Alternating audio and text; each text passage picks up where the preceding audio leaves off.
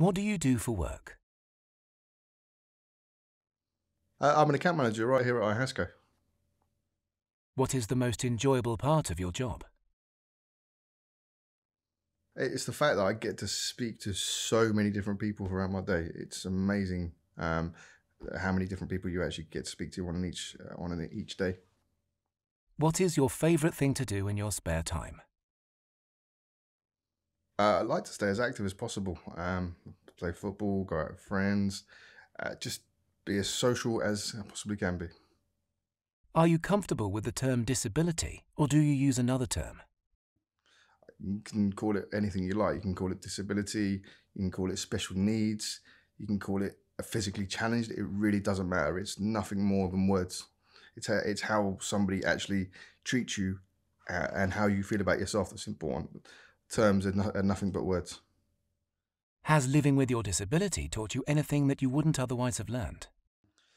Uh, it's taught me to not let anything get in your way. Yes, okay, there are things that you can't physically do, for lack of a better expression, but just because you're physically not able to do something one way doesn't mean you're not able to do the same thing, just in a slightly adapted way. How do you find living and working with a disability? Um, genuinely, um, I sometimes forget that I have one when I wake up. It's until until I look in the mirror and see myself move. You think, oh, oh yeah, that's me. What is your strongest attribute or quality that you bring to your work? It's easy to say, but I'd probably say resilience. Um, just keep going because everybody's got challenges in life. Mine are pretty obvious uh, physically, but others will have problems that you can't necessarily see. But you got to remember, every single person in this life will have something that they need to deal with themselves. Um, it's just how you deal with it. What can workplaces do to make a working environment more inclusive and accessible? Ask, ask questions. That's literally the only the only way you're going to get any information and make things better is by asking questions. That's that's it. Don't be afraid to go up to a disabled colleague and go, or even a disabled. person. It doesn't have to be in the workplace.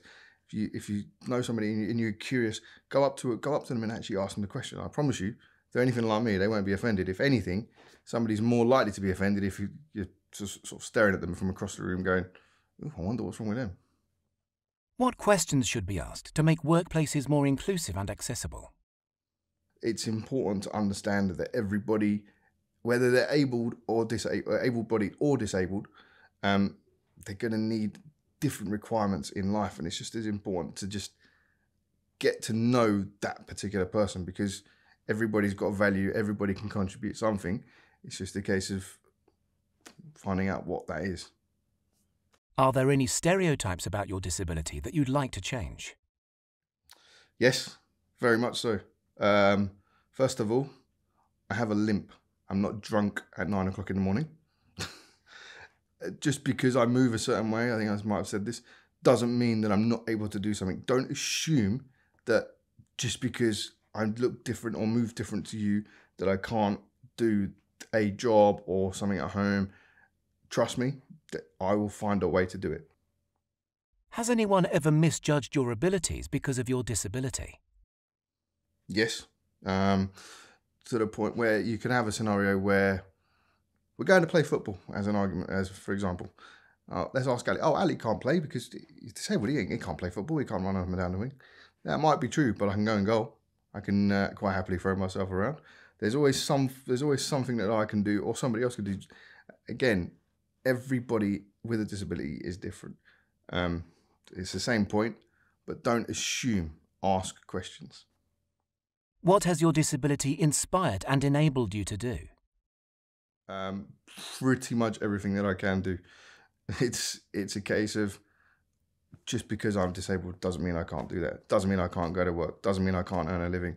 Um, doesn't mean I can't jump out of an airplane with a parachute on my back. Doesn't mean I can't play football. Doesn't mean I can't go traveling on my own guess what? I've done all of that and more. And these are just the examples that come to mind.